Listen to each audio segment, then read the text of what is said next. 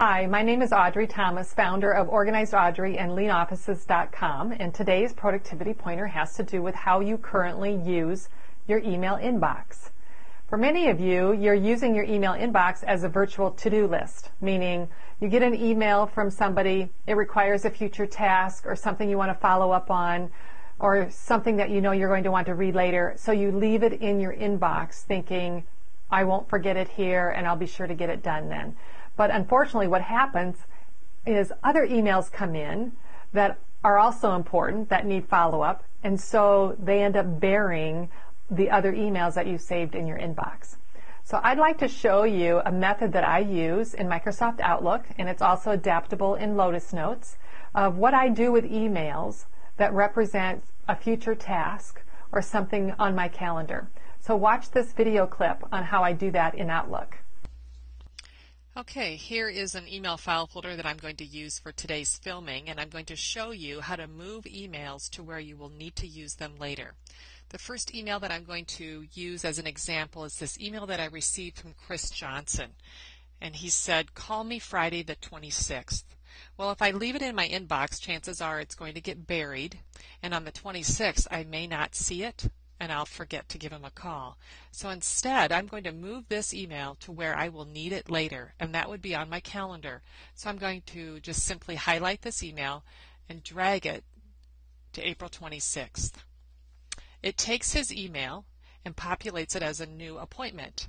As you can see, it also takes the subject line of Chris's email and puts it as the new subject line of the appointment. So I'm simply going to highlight that now and change it to read Call Chris Johnson. And I'm going to leave it at 8 o'clock. I'm going to press save and close. And now on the 26th, when I come into my office, I'm going to see that I need to call Chris Johnson. I can open that up and there is his cell number and the fact that he's driving that day between 8 and 3, and that's when I should try to give him a call. Another example that I'd like to show you is an email that represents a future task. Here's an email that came in through our website, and it was a speaking lead for me from somebody from Kraft Foods. And I called him, and I got his voicemail.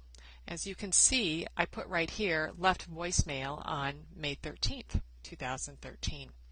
Well, we're playing so much phone tag, I've decided to take it out of the inbox so I don't overlook it and put it on my task list over here so that on the day that I want to follow up and call him, it will be showing over here when I come into my office. So I'm going to highlight it here. I'm going to drag it down here to the word task until that highlights somewhat. I'm going to let go. And a new task is actually, mine shows up down here. For some of you, it actually will show up here on your screen. But I'm just going to click on this, and here's my new task. And again, it takes the subject line from the email. So I'm just going to change that a little bit and it's just simply going to say speaking lead, Kraft Foods, and I'm going to want to follow up on May 21st. And I press save and close. Now, on May 21st, when I come into my office, it's going to be listed over here as an item that I need to do. And when I open that task, I will have the history in there of who it is that's trying to contact me. Now, after I move an email to the calendar or to my tasks, I go back into my inbox and I delete it. This is really important. It does no good to move these emails if you're not willing to, to get them out of your inbox. One last thing that I want to draw your attention to is when you highlight an email and left click and move it, it will not take any attachments with it. In order to move an, an email with an attachment, you want to right click. And I'm going to show you how to do that right here. Here's an email from Al Zavala, who I have an upcoming meeting with him on May 8th. And he has included the agenda as an attachment on this email. So I'm going to right click this email and I'm going to drag it to May 8th. And when I drag it to my calendar and let go of the mouse, I will get these options. And I'm going to click copy here as appointment with the attachment. And when I do that, you can see that here's the new calendar appointment.